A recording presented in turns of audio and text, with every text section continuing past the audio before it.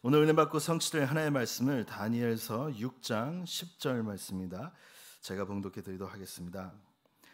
다니엘이 조세, 조서에 왕의 도장이 찍힌 것을 알고도 자기 집에 돌아가서는 윗방에 올라가 예루살렘으로 향한 창문을 열고 전에 하던 대로 하루 세 번씩 무릎을 꿇고 기도하며 그의 하나님께 감사하였더라.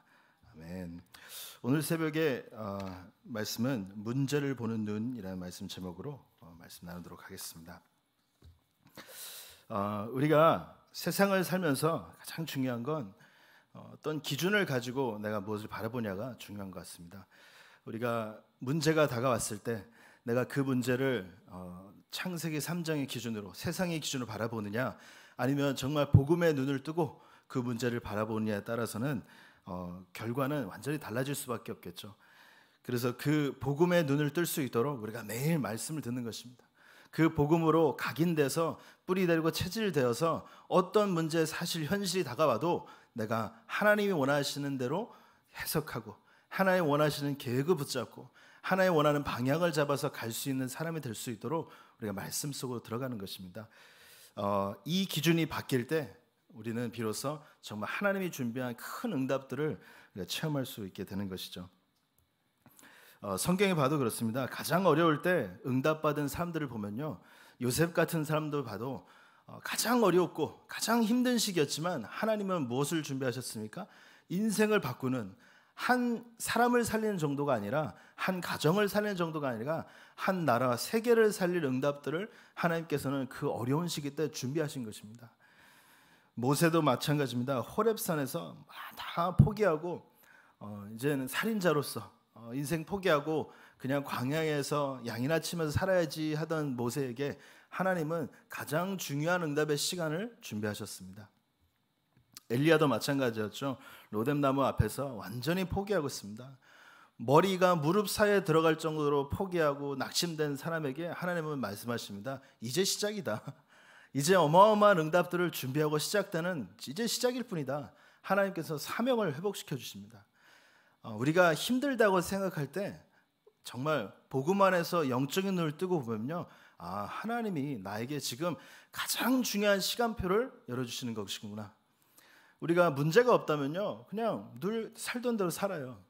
아무 문제가 없고 아무 걸림돌이 없고 그냥 편안하게 삶이 되어진다면요. 그것도 축복이죠. 하지만 정말로 하나님이 원하시는 걸 깨닫게 하실 때는 하나님은 가끔씩 문제라는 것으로 포장을 해가지고 우리 앞에 갖다 놓을 때가 참 많습니다. 그때 우리는 복음 가진 하나님 자녀로서 영적인 눈을 뜨셔야 돼요. 영적인 눈을 뜨고 이 문제를 바라본다면 그 속에 숨겨진 보화가 정말로 보이기 시작하는 거예요. 이 속에 하나님께서 나를 향한 계획들이 발견되기 시작하면요. 이 문제가 나중에 깨닫게 되죠. 야, 이게 문제가 아니구나. 하나님께서 나를 축복하시려고 내 영적인 눈을 열고 정말로 이 복음 속으로 나를 인도하시려고 허락하신 것이구나. 이렇게 깨달아지면요. 그 문제가 문제가 아니죠. 나에게는 최고의 응답으로 다가오게 되는 것입니다. 그래서 문제를 보는 눈이라는 오늘 말씀 제목인데요. 어떻게 하면 눈을 떠서 하나님 원하시는 응답을 확인할 수 있을까? 이 영역을 확인하도록 하겠습니다. 첫 번째로 문제를 보는 눈입니다. 오늘 본문 말씀을 본 것처럼 우리 다니엘서를 보고 있는데요. 이 역사적 배경을 보면 지금 이스라엘은 포로가 됐습니다. 포로가 된 상태에서 그 전 발사살 왕은 죽고 지금 새로 다리오 왕이 세워진 상태입니다. 다리오 왕은 새로 명을 내는데요. 뭐라고 하냐면 전국에 통치할 고관 120명을 세워라. 120명을 세우고 그 중에서 또 그들을 다스릴 총리 3명을 세우라고 명을 내립니다. 그 3명을 세우는데 그 중 한 명이 다니엘이에요. 다니엘이 세워졌는데 다니엘서 6장 3절에 다니엘이 이렇게 말하고 있습니다. 다니엘은 마음이 민첩하여 총리들과 고관들 위에 뛰어남으로 왕이 그를 세워 전국을 다스리게 한지라. 다니엘은 그냥 뛰어난 정도가 아니고 모든 사람을 훨씬 넘을 정도로 하나님께서 지식과 지식을 축복해 주셨어요. 모든 삶의 모든 부분에서 축복을 받은 다니엘이 뛰어난 사람으로 인정을 받는 것이죠. 그러니까 총리들이 마음에 안 드는 거예요. 노예로 포로 살던 저 이스라엘 민족이 우리 밑에 있어야 될 사람인데 어디서 와가지고 갑자기 왕의 어? 친위를 받고 우리보다 높은 자리를 쓰냐 마음에 안 드는 것입니다. 이 마음에 안 드는 사람 고발할 근거를 찾으려고 하는데 아무리 뒤지고 찾아도 찾아도 나오질 않는 거예요. 어떻게 하면 저 사람 무너뜨릴까 생각을 하고 생각을 하고 꾀를 꾸고 막 꾸꾸를 했는데도 나오려도 나오지가 않는 거예요. 그러니까 이 사람들이 관찰을 하다가 나름 어, 지혜가 생긴 거죠. 어떤 지혜입니까? 아, 저 다니엘을 보니까 항상 예배를 드린다. 우리가 저걸 한번 사용을 해가지고 다니엘을 한번 우리가 무너뜨리도 계획을 세보자. 이런 계획을 참, 계획을 세우게 된 것이죠. 어, 우리도 이런 상황을 한번 생각해 보면요, 참 당황할 수 있어요. 우리가 그럴 때는 아, 나는 정말 열심히 하려고 하는데, 난 하나님 앞에서 잘하려고 하는데 왜 이 문제가 왔지? 어, 왜 자꾸 나는 열심히 하려고 하는데 어, 자꾸 하나님께서 이런 문제를 허락하시지? 우리가 당황할 때가 있습니다. 하지만 제가 서론 때 말씀하신 것처럼 이럴 때일수록 우리가 영적인 눈을 떠야 되는 것입니다. 이럴 때일수록 복음의 눈으로 하나님의 계획을 찾는 영적인 눈을 떠야 되는 것이죠. 다니엘이 바로 그 영적인 눈을 뜬 것입니다. 오늘 영적인 눈 다니엘은 무엇을 봤냐면 사단이 고도 전략을 다 깨치한 거예요. 아, 사단이 우리의 예배를 뺏어가려고 하는구나. 사단이 우리가 붙잡을 내가 붙잡아야 될 그 언약을 놓치게 하려고 지금 나를 속이려고 지금 대적하는 거구나. 이런 부분들을 깨달은 것이죠. 다니엘서 6장 7절 보니까 이렇게 나와 있습니다. 나라의 모든 총리와 지사와 총독과 법관과 관원이 의논하고 왕의 한 법률을 세우며 한 금령을 정하실 것을 구하나이다. 왕이여 그것은 곧 이제부터 30일 동안에 누구든지 왕 외에 어떤 신에게나 사람에게나 무엇을 구하면 사자굴에 던져 넣기로 한 것이나이다. 자, 총리들은요. 야, 이제 찾았다. 드디어 이제 고발할 건수를 찾았다. 하고 진행을 하는데 결국 그 속 배후에 뭐가 사단의 깊은 전략이 있는 것이죠. 다니엘이 만약에 현실만 보고 아, 이 문제를 어떡하지? 만약에 당황했더라면요. 정말 힘든 상황입니다. 그렇죠? 아무리 다니엘이 뛰어나고 왕의 친애를 받는다고 하지만 일이 높은 사람들이 다 모여가지고 지금 다니엘 한 명 무너뜨리려고 하는데 이걸 어떻게 한 사람이 이겨낼 수 있을까요? 세상적인 눈으로 본다면 나만을 바라보고 있었다면요 무너질 수밖에 없는 것입니다. 다니엘이 만약에 나 기준으로 이걸 싸우고 대적한다고 생각했다면 당연히 무너지는 것입니다. 여러분도 생각해 보세요. 사단이 여러분들 정확히 알고 있습니다. 여러분들의 영적인 문제, 여러분들의 약점, 여러분들이 가진 상처, 어떤 부분에 약할지, 어떤 부분을 건드리면 이 사람이 무너질지 정확히 알고 있습니다. 여러분보다 더 잘 알아요. 그런 사단의 전략 앞에서 내가 한번 해보자. 오기로 덤빕니까? 우리가 말씀 없고 언약 없다면 반드시 무너지는 것입니다. 반드시. 그런데 다니엘은요, 자기 기준으로 싸운 것이 아니에요. 다니엘은요, 자기 배경을 믿고 자기 지식을 믿고 싸운 것이 아닙니다. 다니엘은 영적인 눈을 뜨고 사단의 전략을 정확히 본 거예요. 아, 말씀 없고 언약 없어서 무너진 우리 민족인데 내가 정말 복음 붙잡고 기도 쓰고 들어가야 되는데 사단이 지금 그걸 빼앗으려고 하는 것이구나. 답이 나온 것이죠. 그렇죠? 문제를 정확하게 보는 것입니다. 여러분들 문제를 보는 눈을 연다면요 우리가 담대해지는 거예요. 이제는 문제를 정확하게 봤다는 것은요 무슨 뭐, 뭔가 나의 기준을 봤다는 것이 아닙니다. 우리가 현실에 속잖아요. 현실에 현실에 현실적인 문제 앞에 속잖아요. 현실적인 인간관계 문제 앞에 속잖아요. 현실적인 경제 문제 앞에 속잖아요. 우리가 현실적인 어떤 육시적인 문제 앞에 우리가 속잖아요. 하지만 나의 기준을 본다면 속는 것이 당연한 것입니다. 하지만 우리가 언약의 입장에서 그 문제를 바라본다면요. 그야말로 최고로 중요한 시간표가 되는 것입니다. 어, 사단은요. 항상 처음부터 이렇게 인간을 속였습니다. 하와 속일 때도 그랬습니다. 네가 하나님처럼 돼.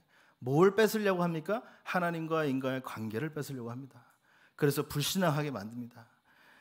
어, 사단은요 계속 목표가 한번 다니엘을 한번 힘들게 해볼까? 이 문제를 한번 이렇게 힘들게 해가지고 다니엘을 울게 만들고 석상하게 한번 만들어 볼까? 사단은요 거기 아무 상관없어요. 아무 관심도 없어요. 우리가 기분이 나빠가지고 슬퍼서 눈물을 훔치고 있는 그런 건 아무 상관이 없어요. 사단의 깊은 전략은 뭡니까? 아, 저 사람의 믿음을 뺏자. 저 사람의 언약을 빼앗자. 저 사람의 사명을 놓치게 하자. 그래서 하나님의 어, 일을 못하도록 만들자. 이게 사단의 계획인 것입니다. 이런 부분들을 볼 때 우리가 어, 정말 말씀으로 답을 얻는다는 것, 어, 이 문제를 정확히 바라보고 그 문제 속에서 하나님 앞에 답을 얻는다는 것이 얼마나 큰 축복인지 우리가 알고 있어야 되는 것이죠. 제가 주일 예배를 드리고 한번 어, 다민족들하고 포럼을 하는데 어, 한 친구가 저한테 와서 그러더라고요. 한 친구가 와서 너무 힘든 일들이 많아가지고 정말 다 포기하고 싶었다. 어, 그리고 그냥 몸도 아프고 막 뭐 일하는데도 문제 오고 그래가지고 다 포기하고 그냥 어? 나라로 돌아가고 싶었는데 근데 오늘 말씀 들으면서 어, 답을 얻었다라고 그렇게 저한테 믿음의 고백을 하더라고요. 그래서 참 그 얘기를 들으면서 너무 감사하더라고요. 항상 좀 이렇게 다민족 사역하면 이런 게 있어요. 아 토닥여주는 사역을 많이 아 괜찮다 이런 사역 많이 하잖아요. 가서 막 위로해주고 가서 이렇게 막 예? 도와주고 이런 사역을 많이 하는데 근데 어 이 친구가 예배 통해서 문제 속에 있는 답을 얻었대요. 그러면 다예요, 여러분. 여러분들이 문제가 있는데 내 문제를 보고 말씀에서 답을 찾았다. 그거보다 더 큰 축복은 없는 것입니다. 오늘 이 자리에 오셔가지고 여러분들이 아, 내가 이런 문제가 있고 저런 문제가 있어서 아, 정말 우리 새벽에 나가서 한번 기도해보자 이런 마음으로 오실 수도 있는데 이 말씀을 들으면서 우리가 답을 찾으셨다. 답을 찾고 아, 내가 할 것이 언약 회복이구나.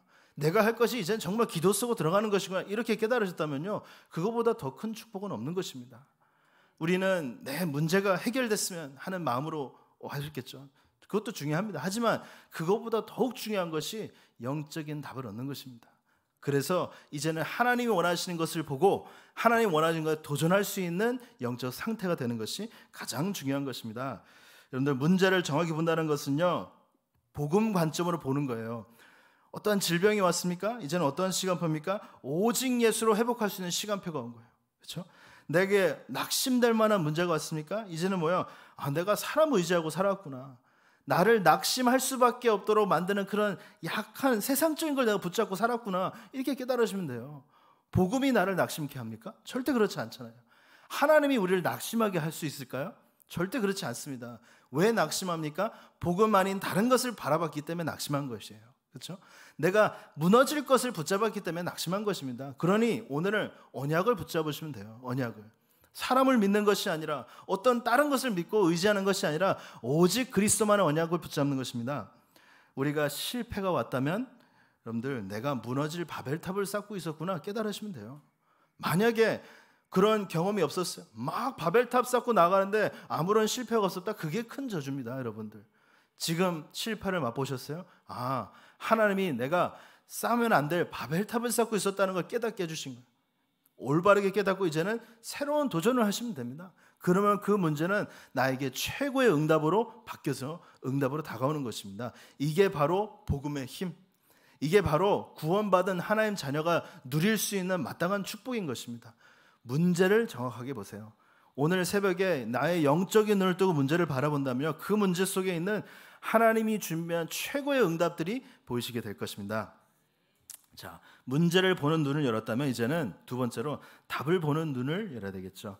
10절에 보니까 이렇게 나와 있습니다. 다니엘이 조소의 왕의 도장이 찍힌 것을 알고도 자기 집에 돌아가서는 윗방에 올라가 예루살렘으로 향한 창문을 열고 전에 하던 대로 하루 세 번씩 무릎 꿇고 기도하며 그의 하나님께 감사하였더라. 아, 제가 다니엘의 이 현실 이 상황을 한번 다 그림을 한번 그려봤어요. 저는 그런 거 하는 거죠. 이렇게 영화를 잡아가지고 이런 상황을 보면 이렇게 눈으로 한번 그려봐요. 이렇게 다니엘이 어떻게 생겼을까? 이때 상황은 어땠을까? 한번 생각을 해보세요. 다니엘이 문제 보는 눈을 열었습니다. 다니엘이 똑똑해요, 그죠? 진행되는 상황을 보면 아, 딱 캐치한 거예요. 이 지금 이 사람들이 나를 향해서 이런 일들을 다 계획하고 있구나. 아, 지금 하나님 계획이 이렇구나. 그리고 이 상황을 바라본 다니엘은 어땠을까? 아마 웃고 있지 않았을까? 하나님이 야 하나님이 지금 이제 중요한 시간표를 준비하셨구나. 당황하고 막 낙심되고 걱정 속에 빠지는 게 아니고요. 다니엘이 아마 야 하나님의 중요한 시간표가 다가왔다고 막 뭔가 흥분하지 않았을까?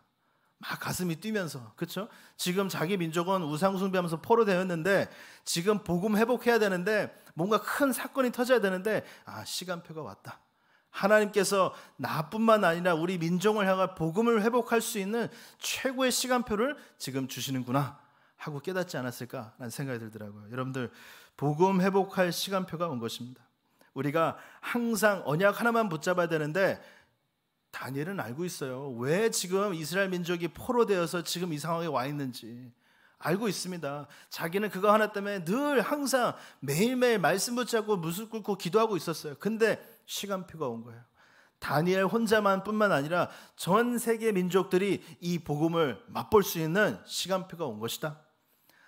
답을 빨리 캐치하셔야 돼요, 여러분들. 답을 내가 딱 붙잡고 있으면요. 문제에 더 이상 속지 않습니다. 문제가 딱 터졌는데 답을 내가 딱 가지고 있어. 왜 당황합니까? 그렇죠?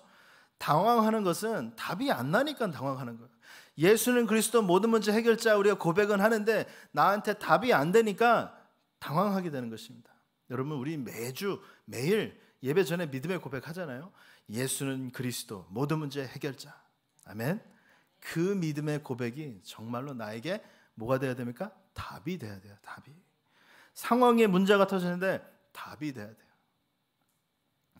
제가 우리 아들 요즘에 학교를 다니기 시작하니까 어 이제 받아쓰기 하더라고요. 받아쓰기. 받아쓰기 제가 보는데 어 저도 틀리겠어요. 제가 1.5년 제가 한국말이 딸이다 보니까 받침 뭐 이런 거 제가 다 틀리거든요. 쓰다 보면은. 근데 우리 아들 틀려왔다 해서 어 괜찮아 괜찮아 괜찮아. 내가 막 이랬는데 이제 와이프는 야 50점이 뭐야? 70점이 뭐야? 막 이렇게 막 이제 뭐라고 하더라고 그게 답이 다 있어요. 답이 다 있어요. 막 갑자기 막 불러가지고 받아쓰기 하라는 게 아니라 그 정확하게 다 요거 그냥 요거 보고 요거 그대로 쓰면 돼요. 그렇죠 당연히 뭐 시험 칠 때 보고 쓴 건 아니지만 답이 다 나와 있어요 그래서 제가 아들 보고 그랬어요 야 이게 답이야 아들아 이게 답이야 요것만 몇 번 쳐다보고 그 가서 시험 보면 돼. 답, 답이 없는 문제가 아니지. 그 얘가 한번 싹날 생각하더니, 오, 그렇네? 맞네, 이게 답이네? 하더니 이제 조금 하다가, 아빠, 90점 받았어. 이러는 야, 잘했어. 내가 박수를 막 쳐줬는데, 여러분들, 답이 있으면 당황하지 않다니까요. 왜 당황합니까? 답이 있는데. 여러분들 답이 있으십니까? 예수가 그리스도 모든 해결자 맞습니까? 그게 맞다면 여러분들의 아멘이 정말로 믿음의 고백이 맞다면 문제가 왔을 때 당황하지 마세요. 그 문제 앞에 하나의 분명한 답이 있습니다. 그 답을 붙잡고 승리하시기 바랍니다. 다니엘은 당황하지 않았습니다. 복음을 회복하는 답으로 붙잡고 기도로 회복할 수 있는 시간표임을 정확하게 알았어요. 늘 하던 대로 무릎 꿇세 번씩 기도했다고 했는데 이번 기도는 좀 더 흥분하지 않았을까? 늘 하던 대로였지만 이건 정말로 기쁜 마음으로 늘 하던 대로 하였지만 정말 감사하며 기도하지 않았을까? 그래서 여기 나오죠. 그는 세 번씩 전에 하던 대로 세 번씩 무릎을 꿇고 기도하며 그의 하나님께 감사하였더라 합니다. 증거로 감사하였더라. 우리가 문제가 왔을 때 기도하죠. 답답해서 기도합니다. 우리가 문제가 왔을 때 기도하죠. 막 뭔가 답을 찾으려고 기도합니다. 근데 다니엘은 그렇지 않았어요.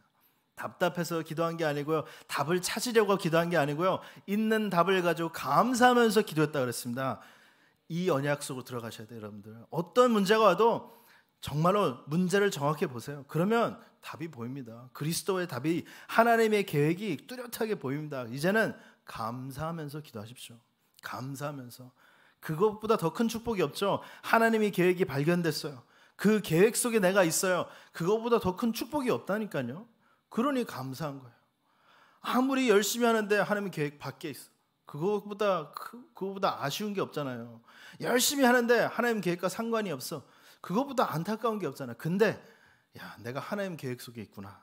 내가 하나님 언약 속에 있구나. 감사한 것입니다. 다른 응답이 필요 없어요, 이제는. 그 사람은 말릴 수가 없는 것입니다. 다니엘을 말릴 수가 없는 거예요. 아니, 기도하면 잡아 죽인다는데 호랑이 굴에 넣는다고 하는데 감사하면서 기도한 거예요. 왜냐? 다니엘은 나를 호랑이 굴에 넣지 말게 해 주세요가 응답이 아니에요.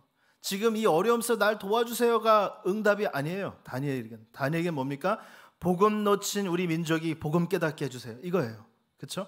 언약 놓친 우리 민족이 이 사건으로 언약을 깨닫게 해주세요. 그거 기도할 수 있는 영적 상태가 되니까 어떻습니까? 감사하면서 기도했다 그랬습니다. 다른 것 때문에 감사하지 마세요. 복음 때문에 복음 위에서 살 수 있고 복음 위에서 기도할 수 있기 때문에 감사한 회복을 누리기 바랍니다.